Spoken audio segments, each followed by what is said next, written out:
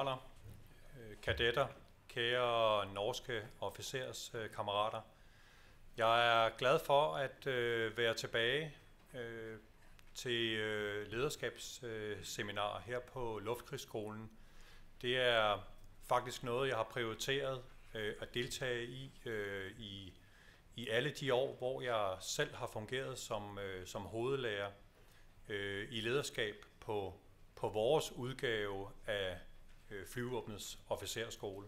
Så jeg er rigtig glad for at øh, være tilbage, og jeg føler, det er rigtig øh, givetigt øh, at deltage i debatten, da vi på så mange måder øh, minder om hinanden og står i præcis de samme øh, situationer.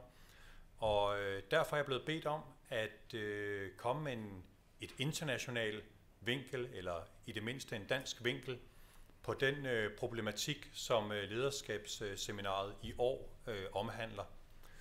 Og øh, det er jeg jo glad for, når nu øh, alle øh, indlæg indtil videre er blevet øh, udlagt som vi har jo ikke facitlisten. Selv øh, general Gustafsson siger, jeg har ikke facitlisten. Så er det jo godt, at I kan ringe efter en dansk kaptajn, så øh, jeg nu kan gennemgå den øh, med jer. Øh, nej, det har bestemt ikke været let at øh, skulle beskrive øh, de udfordringer og øh, det samarbejde, som findes mellem øh, specialisten og officeren, og det har det ikke, fordi øh, jeg jo aldrig har prøvet andet. Og det at øh, undersøge egen praksis er faktisk en rigtig besværlig disciplin. Øh, alt for meget er grundlæggende antagelser. Alt for meget bliver ting, man ikke øh, får øje på. Øhm, så om, om ikke andet, og hvis ikke der er noget rocket science eller øh, noget, øh, som, som, ikke, som I ikke var klar over i forvejen, så kan I i hvert fald bruge indlægget til at blive bekræftet i, at alle de antagelser, I har, de er rigtige nok, og den, øh, det projekt, I står overfor, er langt fra øh, umuligt. Hvis vi kan få det til at lykkes i Danmark, så er jeg sikker på, øh, at det også kan lykkes her. Så øh, det er med det forbehold, at jeg egentlig bare vil gennemgå, hvad jeg får øje på i, i mit virke som officer, øh, når jeg tænker tilbage på de sidste 25 år i mit, øh, i mit virke med både øh, officerer øh, over mig, under mig og befalingsmænd eller specialister øh, under mig. Nu øh, er mit indlæg jo ikke af historisk karakter, men øh, jeg bliver nødt til lige at starte øh, ved, ved det sidste indlæg. Og det er jo igen øh, Otto von Bismarck, og så er det Napoleon. Og grunden til, at jeg har taget det øh, billede med, skyldes, at den fransk-preussiske krig, der var franskmændene, jo preusserne, øh, numerisk øh, meget overlegne, men alligevel øh, led de øh, et øh, eklatant tab øh, og nederlag. Øh, og øh, det blev startskuddet til, at man, øh, at man omlagde officersuddannelsen i Frankrig og fik øh, sat fokus på øh, professionalisering og akademika som en særlig øh, officers øh, dyd og en særlig officers kompetence, som adskiller sig fra den øh, fra de kundskaber og den viden og det lederskab, som specialisten også skal besidde. Så den akademiske og professionelle overhøjde, øh, udblikket, øh, blev øh, udfaldet af det nederlag. Og hvordan øh, påvirker det så øh, vores måde at øh, uddanne på øh, den dag i dag? Ja, i Danmark, der øh, øh, er vores specialister eller befalingsmænd, når de, øh, når de starter på deres uddannelse, så har de en øh, gymnasiel uddannelse. Hvorimod øh, to tredjedel af dem, der starter på en officersuddannelse, de har en, en uddannelse på minimum bachelor-niveauet med dem fra et civilt universitet. Og det øh, kan der jo enten være en McKinsey-logik bag, at det har været en billig måde at gøre officersuddannelsen kort. Man har kunnet udlicitere alt, hvad der hedder øh, videnskabsteori og metode og andre generaliserbare akademiske discipliner, har man kunnet udlicitere til et civilt universitet, og så har man kunnet fokusere på det rent øh, militærspecifikke på øh, officerskolerne. Øh, så, så derfor kan man sige, at, eller kunne man tænke, at det kun var øh, en, en ulempe, men faktisk er der en stor fordel forbundet og et stort potentiale forbundet med den måde at uddanne på. Og det øh, skyldes jo, at de officerer, vi har, de udover at have den gode officersuddannelse og den øh, institutionalisering, som følger med der, jo også i ballasten har forskellige øh, akademiske discipliner og dyder øh, med sig, som de jo ikke glemmer. Så når andre taler om øh, cross-boundary innovation, øh, så kan man sige, at det her, øh, den her måde at uddanne officerer på, øh, ligger i hvert fald op til, at, at øh, muligheden for det er til stede. Så er der selve uddannelsen i, øh, i forsvaret. Og øh, der giver vi vores sergeant eller specialister en sergeantuddannelse, og det højeste uddannelses, akademisk uddannelsesniveau, de kan få, det er en akademiuddannelse. Det er på øh, National Qualification Framework Level 5. Hvorimod øh, officererne jo får en øh, akademisk uddannelse på øh, bachelor- og kandidat- eller masterniveau, altså kvalifikationsrammens niveau 7. Grunden til, at jeg fremhæver det her, er, at man kunne tænke, hvorfor giver man ikke også de specialister med det store ledelsesansvar, hvorfor giver man ikke også dem en bachelor øh, eksempelvis? Det er jo den måde, man gør på, øh, øh når vi tænker for eksempel øh, læger og sygeplejersker. En sygeplejerske er en bachelor, hvor en læge er en kandidat eller master. Men de udfordringer, som, som det giver, er jo, at hvis sygeplejersken har gennemgået et studie på universitetet og skulle forholde sig til Montys øh, kropsfænomenologiske tilgang, og så kommer ud på en øh, operationsstue, og lægen siger, tør, tør blodet op på gulvet, så tænker sygeplejersken, jeg er jo akademiker, jeg har jo læst bachelor på, på universitetet, skal jeg virkelig tørre op? Så derfor har vi helt øh, distinkt øh, valgt, at man som specialist og befalingsmand, der er man ikke akademiker.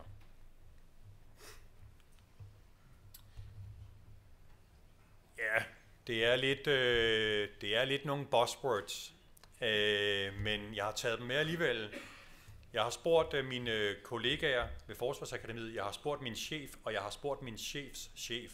Øh, jeg har interviewet dem inden jeg skulle øh, herop til jer, øh, om hvilke erfaringer vi øh, samlet set øh, havde omkring samarbejdet mellem øh, officerer og specialister. Så det er, det er de slides, der er kommet ud af det. Fokus under den øh, militære øh, uddannelse for specialisterne er at lære at gøre, hvorimod det for øh, officererne er at øh, lære at lære. analyseniveauet øh, er for specialisterne individ og gruppe, hvor det for officeren er samfund og organisation. Ja, der er nogen, der smiler. Det er gået bedre for Rosenborg, efter I fik øh, Bentner, end det er gået for FCK, efter vi fik Ståle Solbakken.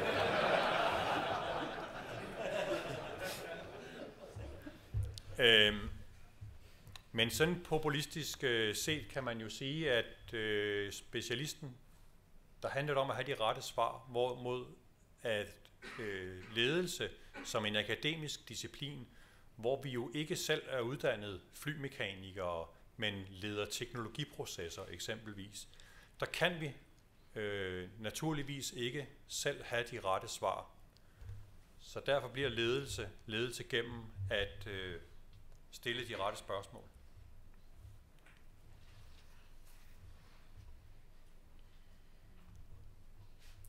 Det er også nævnt af oplægsholdere før mig allerede her i aftens korte program, at øh, forskellen selvfølgelig øh, ligger i, om vi skal have fokus på detaljen, eller vi skal have fokus på, øh, på helheden.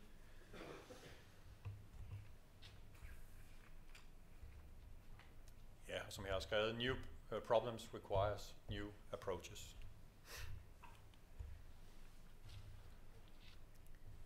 Så er der selvfølgelig forskel på, hvem man leder. Og øh, i Danmark er det sådan, at man som øh, specialist eller other ranks ikke kan være chef for en øh, officer. Der kan helt sikkert være andre øh, andre lande, hvor at, at øh, den øh, konstellation den findes, men det har vi ikke i Danmark.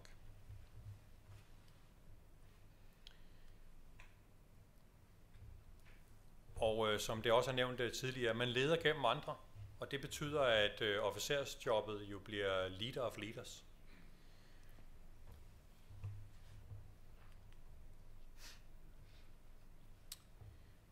Den øh, horisontale kontra den øh, vertikale øh, karriere er egentlig også øh, blevet, øh, blevet nævnt.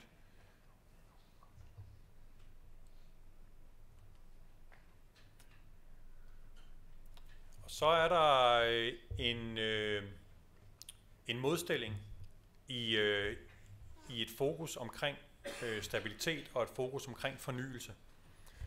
Øh, som jeg ser det, så øh, er der rigtig mange øh, lean-processer, som er, er styret af officerer, og det er måske også sådan noget McKinsey og New Public Management og hele den måde, at vi har skulle spare penge, øh, som kendetegner øh, begge landes øh, forsvar. Og det gør, at øh, ledelse, det har været meget øh, et spørgsmål om lean. Få mest muligt forsvar ud af færrest mulige kroner.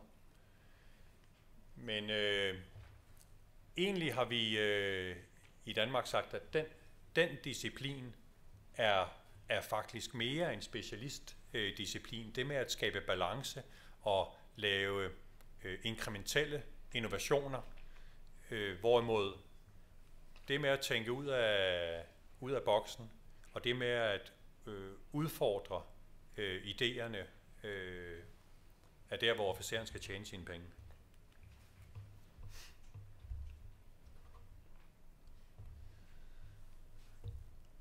Så er der modstillingen mod øh, mellem øh, erfaring, øh, eller om, øh, om viden skabes gennem erfaring eller gennem øh, akademiske øh, studier.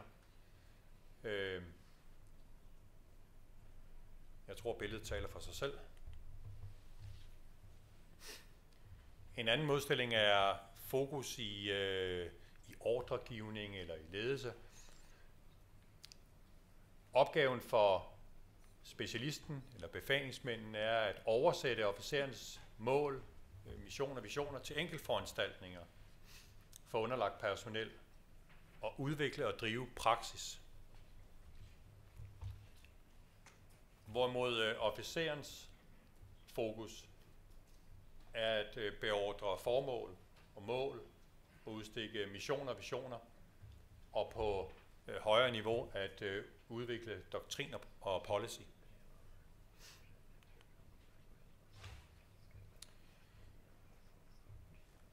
Så er der en, øh, en, en, et forhold, øh, og det er, at alle befalingsmænd i Danmark er startet som menige soldater. Så alle har startet nederst i organisationspyramiden, og har altså den erfaring med, som man, som man ved, øh, at dem man giver ordre, der har man selv været i deres sted. Hvorimod at øh, langt de fleste af vores officerer indtræder jo direkte på øh, officerskolen.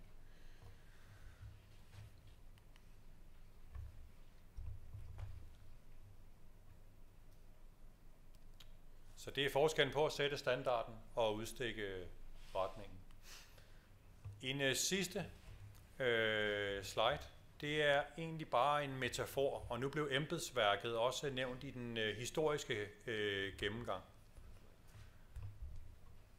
Og her har jeg øh, brugt metaforen mellem øh, officer og specialist øh, som forholdet mellem politiker og embedsmand. Altså klar adskillelse af magt mellem specialist og officer, kunne det også have stået. Officeren har beslutningsmagt, hvorimod øh, specialisten fungerer som rådgiver. Og så denne her. Officeren skal udfordre den traditionelle tankegang, og specialisten skal tegne løsningsrummet op. Og hvis den, hvis det makkerskab, hvis den øh, symbiose, den kan opstå, så man som officer træder ind i en, øh, i en enhed, hvor at øh, specialisten, befalingsmanden, den gamle chefsergeant, er ham, man kan spørge til råds, og ham, som siger, det plejer at være sådan her, og officeren kan udfordre det løsningsrum, så tror jeg, at øh, grundlaget for den, den helt, øh, det helt rigtige teamwork mellem de to grader, det øh, er skabt.